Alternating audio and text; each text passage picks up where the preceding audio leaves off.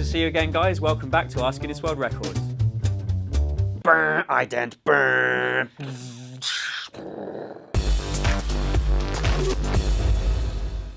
Now, quite a few of you have asked us a question which kind of goes hand in hand with working at Guinness World Records, and that is what is the most awesome or inspiring thing that we've seen? Now, I've been all over the world to film record holders, but I've got to say, the time that I travelled to Switzerland to film Freddie Nock performing a high wire act on a ski lift has got to top it. There was literally nothing between him and what seemed like an infinite drop to the ski slopes below, so I've got to say that was pretty amazing to witness. But that's just me. I had a chat with some of the other guys on the team to see what their favourite moments have been from working at Guinness World Records. My most memorable moment has to be still um, when we had Michael Jackson come around. You know, Michael Jackson came to the office, which is quite insane, really. Um, and then that next day, he asked me to present his uh, award at the World Music Awards, which I did with Beyonce. So that was quite cool. I had to go up on stage with Beyonce. Um, in terms of adjudication, probably the fact that I've had the joy and honour of measuring the world's tallest man, Sultan, and the shortest man. So I had to, to have done the tallest and the shortest is pretty good. It's pretty sort of cool, I think. Uh, my most memorable moment uh, here at Guinness World Records so far would have to be going to the X Games in 2012.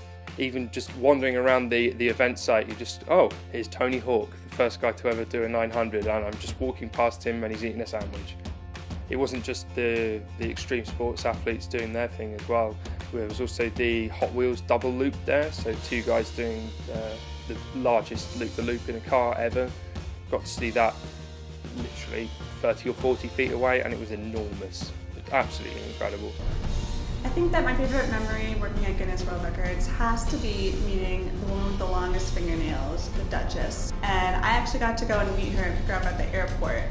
Um, when I got there, I couldn't find her at the gate, so I actually, we were on talking on the phone, trying to figure out where each other was, and um, I kept looking around and I to myself, I was thinking, how can I not see this woman? And she even said to me on the phone, I have fingernails about two feet long. How could you possibly miss me?